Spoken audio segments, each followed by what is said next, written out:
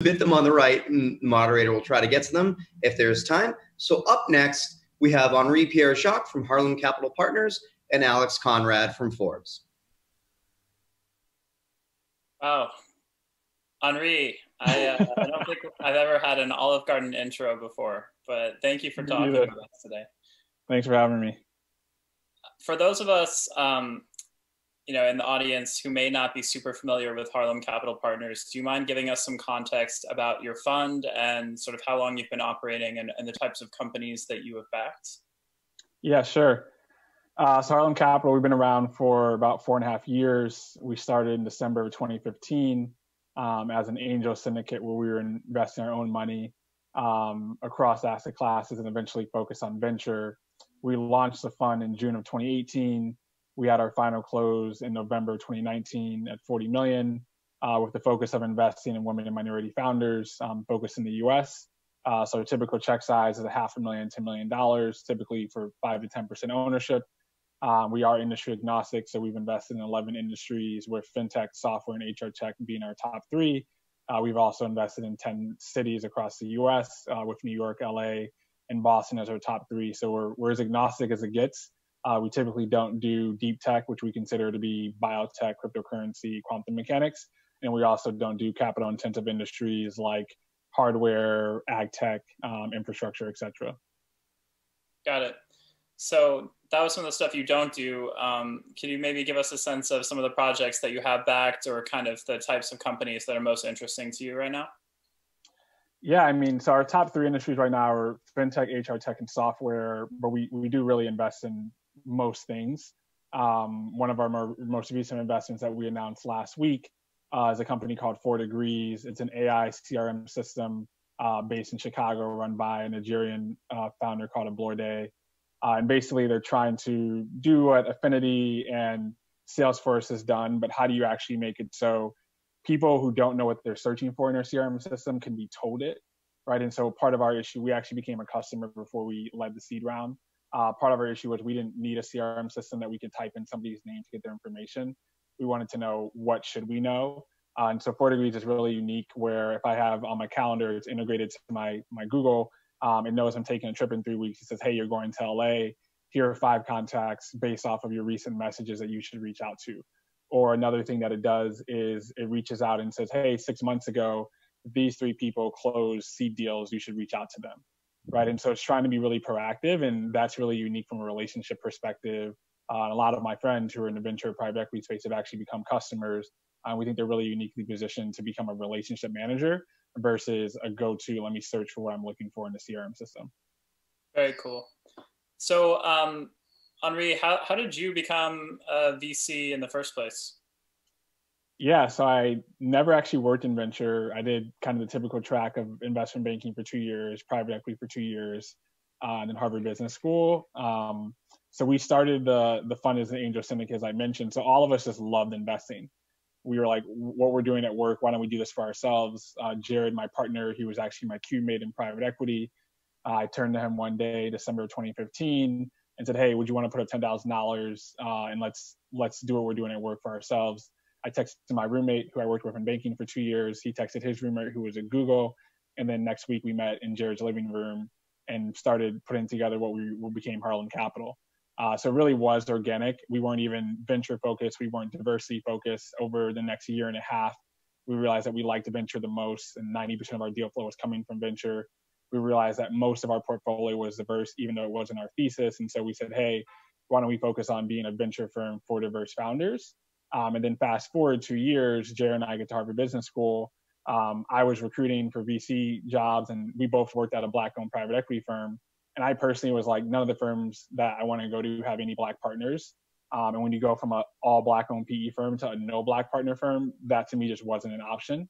Uh, and then so and then the gender the diversity focused firms were mostly diverse were gender focused like female founders fund bbg and i wanted to invest in people of color as well as women uh, and so i ended up applying for a fellowship from harvard business school where basically you can become an entrepreneur over the summer and they'll give you a small stipend i got it uh, Jared didn't get the private equity internship he wanted. I convinced him to join me on that fellowship. And then that summer between first and second year, we, we started the fundraise and eventually that's what we ended up doing after school. Um, but it was not a clear linear path that we took.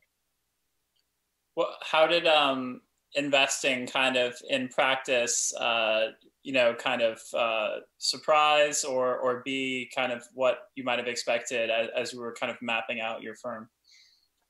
Yeah, I mean, I think the biggest difference from going from an investing to a GP is all the non-investing stuff, right? And so I think people don't understand like when you're a GP, unless you're on a live deal that's high priority, like 75% of your time plus is on non-investing. Particularly if you're fundraising, then it becomes 80 plus percent of your time is non-deal stuff related, right? And so all the stuff where we're doing taxes right now, which we're doing in July, um, onboarding of, of new uh, interns or associates. We just chose our healthcare plan last month because we just got our first employees who started in May. Um, all the brand stuff. Exactly what a VC wants to do, right? Is exactly about healthcare plans. and so I think that that's really the biggest transition is going from okay, I get a CIM on my table, let me do my analysis on the deal to like there's all these other things you have to do, particularly when you're fundraising, which is a job in itself, um, which I underappreciate. I think the biggest transition from private equity to venture is how you get how are you uncomfortable being uncomfortable because in PE there's just tons of data. And so that was my biggest transition was, hey, there are ways to leverage data in venture. I think a lot of people use less data than they probably could. Like seed today, you know, 65% of seed deals today are post revenue, right? That was 11% in 2010. And so the bar is only getting higher. There's more data and companies are becoming later and later stage of the seed stage. And so I don't think there's a world now where you can't do analysis for seed stage business. But still, regardless of the data, you're not going to have li- nearly as much comfortability as you would in private equity, but you're also not writing 40 to 200 million dollar equity checks, and so you don't need as much comfortability, right? And so I think that that was a balance for me of making that transition from private equity to venture capital. Got it. How um how how have you found kind of the mix of um, sort of identifying businesses uh, maybe a little bit faster than other investors versus perhaps taking a bet on businesses that are not yet attractive to perhaps other investors you know kind of the the spotting versus the the winning the deal? Yeah so when we first started we only did post revenue. Um, once we raised the fund our target was 25 we hit our cap of 40 we realized that ownership really begins to matter about above $30 million for a fund um, and so if we were going to hit our ownership targets we were going to have to move earlier particularly given where valuations were pre-covid and so we became post product focused. So we've done 15 deals in the fund. Three of the 15 have been pre revenue. So we still typically are post revenue, um, but we will move earlier, or like a lot of our deals have been 6K MRR, so super early from a revenue traction stage. And so I think we just realized as a fund, given our ownership, our check size, we had to move earlier. We had to get comfortable faster based on, hey, great founder, big market. We think the unit economics makes sense. The business will likely pivot but we can't assess the business as much as we would have liked to if we were a 15 to 20 million dollar fund where we can get in later and ownership doesn't matter as much. And so I think the size of your fund, the size of your check size, your ownership targets all determine like how early you can go and how early you can't go for a lot of these businesses. Um, and that's what we we didn't appreciate that before we actually had a forty million dollar fund. Got it.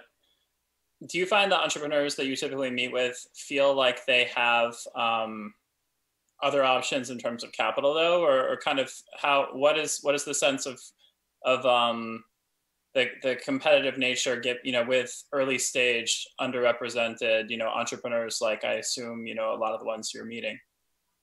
Yeah, so 87% of our portfolio is Black, Latino, or women. Um, so it's majority of our, our companies, with two other ones being Asian.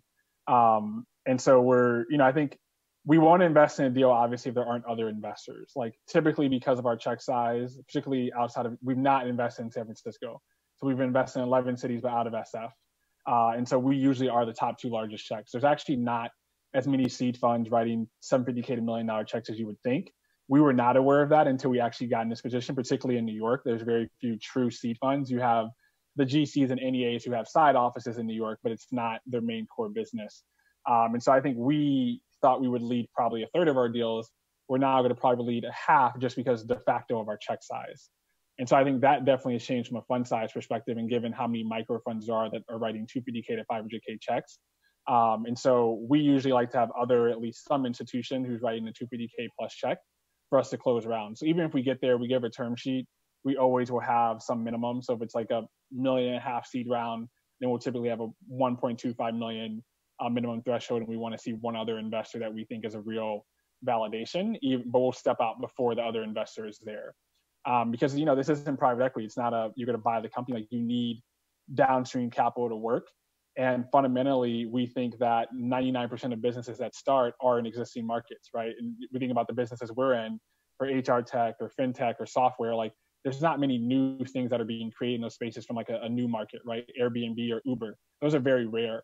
And so it's pretty easy to assess, hey, who are the investors in this space? We do a lot of comps analysis. We talk to a lot of investors to get a sense of what would you need to see, what are the multiples in the space, um, and we just fundamentally believe that most businesses are created in existing markets, and so you can get some sense of will people actually care about this? Will people actually invest in it, or is this really just a moonshot bet? And that's typically how we think about it. And then occasionally there's those Ubers and Airbnbs, but those are very rare new market creations. How um how collaborative would you say the venture game is at, at sort of the seed stage right now? Um, obviously, the average seed round got a lot bigger, um, but I guess you know there still is probably more syndication than later on. But but is this something where you you all kind of can find find room in the, in the deals that you want, or are you having to kind of compete with other funds, you know, looking for the same founders? Yeah, so we've lost one deal, um, which was in December. So we've only lost one deal. All of the deals we've won, and we've been fortunate to get into. Uh, it's a very small world, so we're very collaborative. I mean, given our check size, we we do have to be earlier. Um, but I think there hasn't been an issue because there aren't a lot of funds doing million plus checks at the seed stage. Um, you know, obviously the funds that are larger that are doing 20% ownership at the seed stage, we're not investing with them. Uh, it's just not it's not worth our time from an opportunity cost perspective. Um, but all the other funds, we have a lot of co-investors who, you know, one of our biggest co-investors is a fintech firm in Boston called uh, Vestigo Ventures, right, which is an all-white male fintech firm in Boston, uh, and they're one of our. We've, done three co-investments with them, right. So it's not only diversity-focused funds that we're co-investing with. Um, it depends on the space and the time where we found partners who really like the deals that we like and we've done deals with them uh, and it hasn't been kind of like this this battle tension that i heard you know we haven't invested in the valley so maybe it's different in sf but we personally have not seen that issue outside of san francisco okay and but you feel like there is um, at least before the last couple weeks has there been sort of a consistent um, interest from other firms to kind of share deal flow with you all or see some of these entrepreneurs that you've been backing? Yes, I mean, from a funnel perspective, we're much more inbound than most firms, right? So 50% of our deals come directly from founders, and that's because we're very brand focused. Uh, 13% of our funnel comes from venture, and then another 15 from kind of like our network, um, and 10% comes from our from our interns actually. And so we have a pretty diversified pipeline, and you know, from a venture standpoint, for us, because we are, are so diverse, right? We've invested in 11 cities and 10 industries. There are very few firms that are going to have multiple overlap with us, right? You think about funds like Andreessen, which are 90% plus San Francisco based. Well, we've never invested in SF. We're probably not going to invest in Andreessen, right? If you're talking about a firm that's invested in biotech, we don't invest in biotech. And so we're pretty methodical about who we actually spend time with. But very few firms outside of Vestigo or Female Founders Fund or Precursor have done multiple deals with us just because we are so uh, agnostic across geography and industry. Um, and so we're, we're, we're just more mindful of that. I think some firms have, hey, here's our, our six firm uh, rotation. We have our monthly calls. We don't do that. It doesn't really work for us. Uh, it's not a high ROI um, given our funnel base and our inbounds are pretty large. Like last year, 47% of our deals that we did were directly from management, right? And so we actually we're we're, we're trying to be very conscious of how do we get people of color and women outside of our networks? Because I think you would be naive to say, okay, I'm a person of color, like I'm gonna have a more diverse network. Yeah, but like I live in New York City, I went to Harvard Business School, I worked in banking. My diverse network is very elitist. Um, and so we're very focused on how do we leverage a brand and marketing to make sure that we're reaching people of color and women outside of our networks. And that to me is what gets me excited when, you know, we did a deal called ProSky in Salt Lake City and the founder, Crystal, is 38 years old, Asian woman, has two kids there is no way I would ever have met her in our networks, right? And she read an article on us in the Wall Street Journal. She reached out. I flew to Salt Lake City, met her and her brother, who's the COO, and we ended up investing. That to me is like when you have a true network and you've gone outside and you have some proprietary deal flow. Um, and that's what I'm more focused on than just like, can I tap my HBS friends at other VC firms to get the deals that everybody else is looking at? Got it. So cold introductions actually have worked for you all in terms of investments. Yeah, very, very well. Last year we did seven deals in 2019. Three of the seven were cold introductions.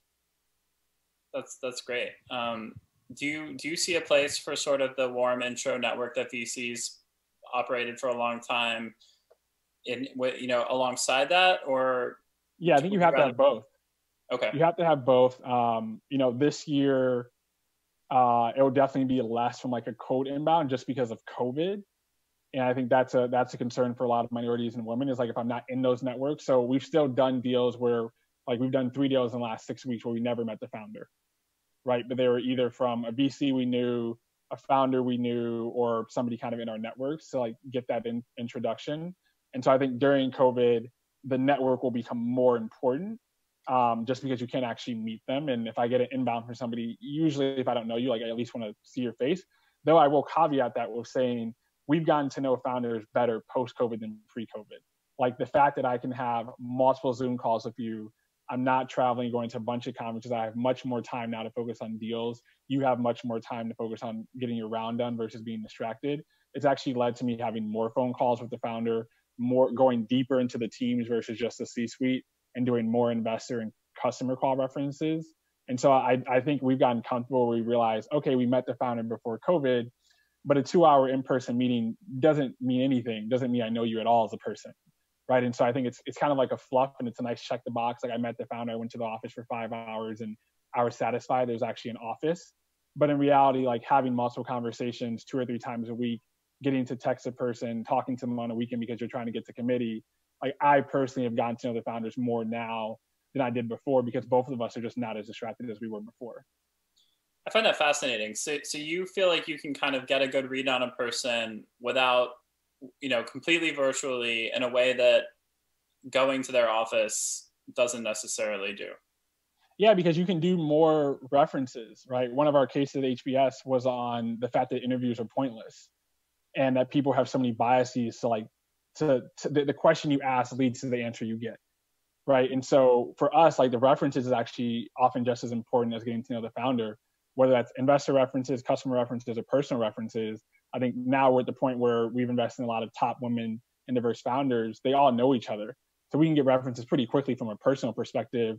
And investor references are important because one thing we learned during angel investing before we had the fund was founders are different before you write the check and after you write the check, right? And so talking to an investor who's been in the deal for two years, like, hey, like, what have they been like the last two years? Has that evolved? Has that changed? No two weeks or five weeks of diligence can tell you what somebody has seen over two years. Like you can only you can lie in a two-hour in-person meeting pretty easily to somebody's face and the same on a camera, but you can't lie to an investor for two years and then not notice it right? And so that to us is really powerful. And typically, we know some of the investors or angels who are in these deals, um, even if they didn't do the introductions. And so that gives us a lot of insight to hey, like how they acted. Are they taking your feedback? Like, what are the things that they're missing? How can we help as investors? Like, what do you feel like their new investor base needs? And that's really meaningful and, and powerful for us versus just okay, I talked to this person for two hours. Like now I know what this person's going to be like for 10 years. Like you're lying to yourself if you think that's true. Um, and so I think, you know, we just kind of come to reality like, yes, like we want to make sure we think we trust you, but it's like we think we trust you. Um, and let's talk to other people who have had a longer period to think they trust you, but they still only known you for six months or 12 months.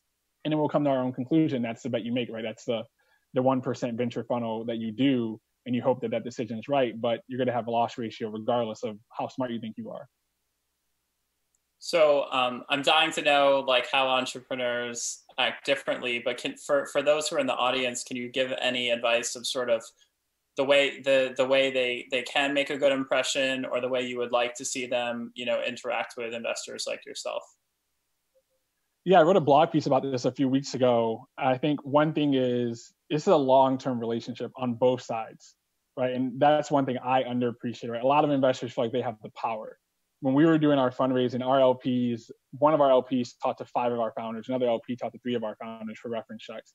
Everybody is reference checking, reference checking everybody, right? It's a relationship game. It's a long-term game, and so I think don't take it personally. Like we invest in 1% of companies. There's an opportunity cost. One of the biggest reasons why we don't invest is because of that. It's not because your business isn't good.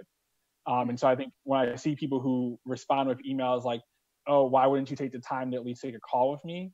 Like every investor has different philosophies. We typically see a thousand deals a year. We take calls of 200, right? We diligence 40, we invest in 10.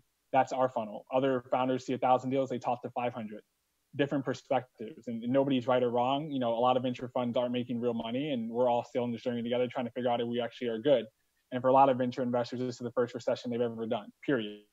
Um, and so I think, you know, just be mindful of that and that these emails get shared. I remember when I was in banking, you know, reading Business Insider, every year there'd be at least two or three emails that were stupid by an MD or an analyst that would get shared across the street. And now your name's just, you're blacklisted. Venture's no different. It may not be in the newspaper, because it's not an investment bank, but like people are sharing emails, people will remember, people talk about you. So be respectful. Your emails get shared, people remember those interactions. I think what's been really grateful is when somebody's like, thank you for telling me no quickly. Like that's what we try to do, at least tell them no quickly and give them a reason. And then they come back, or then they introduce us to another founder. Hey, like they didn't invest in us, but we like them. Like you may want to look at them. Because it's um, respectful of their time. Yeah, it's respectful of their time. I think that's something that founders should just appreciate. Is everybody is trying to do the right thing. Though, like, I obviously in this racial climate, there are definitely biases, and I've seen emails that have been posted by founders of color that were pretty disheartening.